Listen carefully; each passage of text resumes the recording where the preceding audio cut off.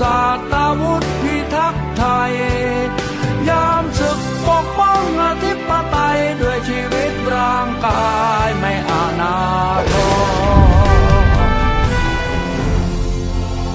ทหารผ่านศึกเป็นผู้มีเกียรติ เพราะได้เสียสละประโยชน์สุขส่วนตัว แม้กระทั่งเลือดเนื้อและชีวิต เพื่อบ้านเมืองและส่วนรวม ขอให้ภูมิใจและตั้งใจรักษาเกียรติอันแท้จริงที่มีอยู่นั้นไว้ทุกเมื่อ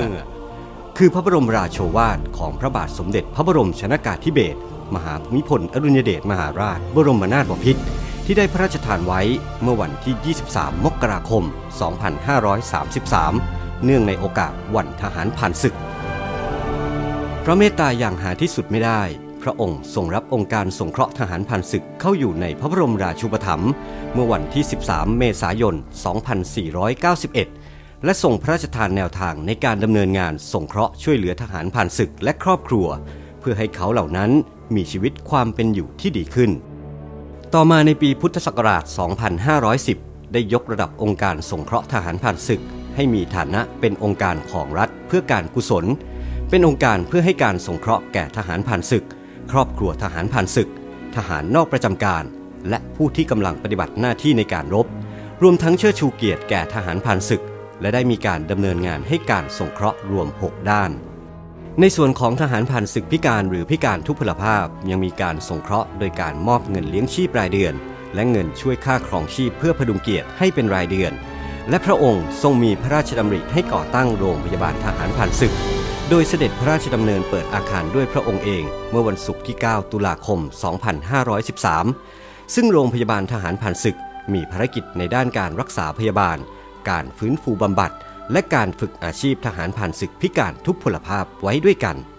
นอกจากนี้ยังได้เสด็จพระราชดำเนินไปส่งเยี่ยมเหล่าทหารหารในพื้นที่อันตราย ไม่เว้นแม้แต่ที่ฐานปฏิบัติการ โดยได้ทรงนำสิ่งของเครื่องอุปโภคบริโภคไปพระราชทาน เพื่อเป็นขวัญและกำลังใจแก่ผู้ปฏิบัติหน้าที่ แม้ในยามที่เหล่าทหารเหล่านั้นได้รับบาดเจ็บ พระองค์ก็ยังทรงให้ความห่วงใยเสด็จไปเยี่ยมปลอบขวัญ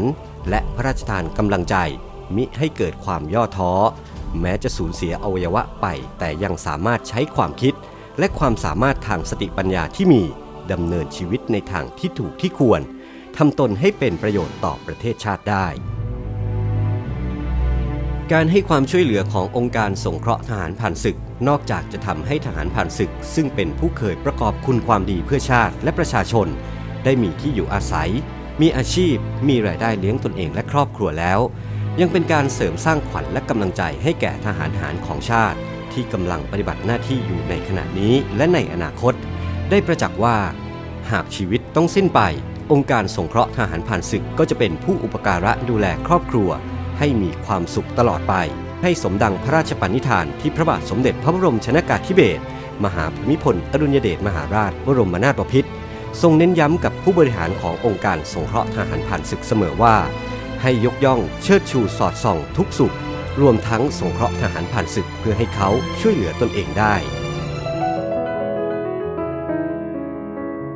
เนื่องในวันคล้ายวันพระบรมราชสมภพพระบาทสมเด็จพระบรมชนากาธิเบศรมหาภูมิพลอดุลยเดชมหาราชบรมนาถบพิตร 5 ธันวาคม 2565 องค์การสงเคราะห์ทหารผ่านศึกจัดพิธีเจริญพระพุทธมนต์และพิธีทำบุญตักบาตรถวายเป็นพระราชกุศล โดยผู้อำนวยการองค์การสงเคราะห์ทหารผ่านศึก พร้อมด้วยนายกสมาคมแม่บ้านองค์การสงเคราะห์ทหารผ่านศึก คณะผู้บริหาร พนักงานองค์การสงเคราะห์ทหารผ่านศึก ร่วมแสดงความจงรักภักดี และน้อมรำลึกในพระมหากรุณาธิคุณ ที่พระองค์ทรงมีต่อทหารผ่านศึก ตลอดระยะเวลาในรัชสมัยของพระองค์มูลนิธิอาสาเพื่อนพึ่งภายามยากสภากาชาติไทย จัดงานเพื่อนพึ่งภา 2565 ภายใต้แนวคิดเพื่อนไม่ทิ้งกันในยามยาก โดยสมาคมแม่บ้านองค์การสงเคราะห์ทหารผ่านศึก ได้ร่วมออกร้าน Poppy Memorandum ซึ่งเป็นสินค้าจากฝีมือทหารผ่านศึก และครอบครัวทหารผ่านศึก จึงขอเชิญชวนประชาชนเที่ยวชมงาน ระหว่างวันที่ 2 ถึง 11 ธันวาคม 2565 ณ สวนสมเด็จพระนางเจ้าสิริกิติ์เขตจตุจักรกรุงเทพมหานคร